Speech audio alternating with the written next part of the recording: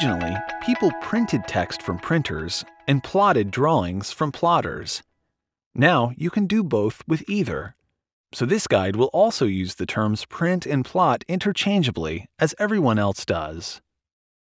The command to output a drawing is plot, and you can access it from the Quick Access toolbar. To display all of the options in the plot dialog box, click the More Options button.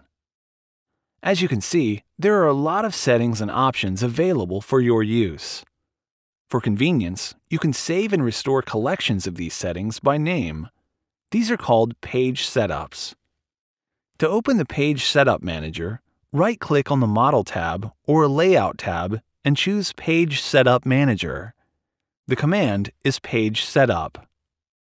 Each Layout tab in your drawing can have an associated page setup. This is convenient when you use more than one output device or format, or if you have several layouts with different sheet sizes in the same drawing. To create a new page setup, click New and enter the name of the new page setup. The Page Setup dialog box that displays next looks like the Plot dialog box. Choose all the options and settings that you want to save. When you are ready to plot, you simply specify the name of the page setup in the Plot dialog box, and all your plot settings will be restored. In the following illustration, the Plot dialog box is set to use the Hitchhiker page setup, which will output a DWF or Design Web format file rather than print to a plotter. The following example shows you how to create a page setup for creating PDF files. From the Printer slash Plotter drop-down list, choose AutoCAD PDF, General Documentation, .pc3. Next, choose the size and scale options that you want to use. Paper size. The orientation, portrait or landscape, is built into the choices in the drop-down list. Plot area. You can clip the area to be plotted with these options, but usually you plot everything. Plot offset.